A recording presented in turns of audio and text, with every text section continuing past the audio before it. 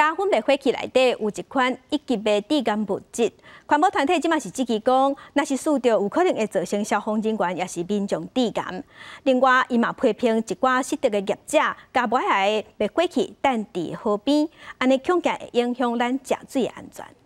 假讯息，消防署。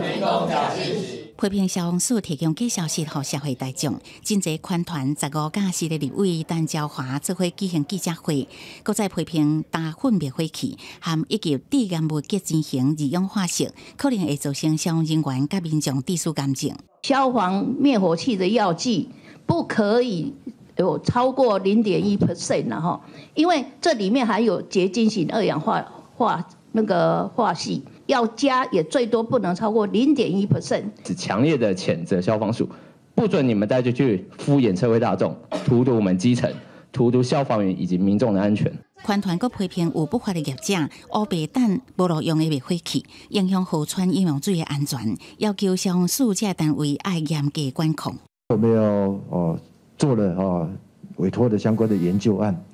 啊，然后针对这一些分析测试法以及相关的一些。